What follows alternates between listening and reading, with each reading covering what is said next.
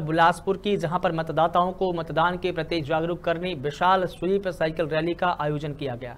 Collector Awanish शरण और police अधीक्षक संतोष कुमार सिंह ने हरी झंडी दिखाकर स्वीप रैली का शुभारंभ किया। उन्होंने साइकिल चलाकर रैली का नेतृत्व किया और युवाओं का हौसला अफजाई किया।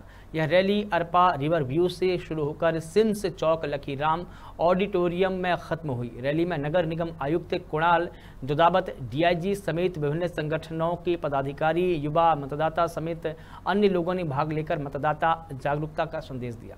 इस दौरान मतदाता जागरूकता का संदेश देने रंग बिरंगे गुब्बारे भी रिवर व्यू में छोड़े गए।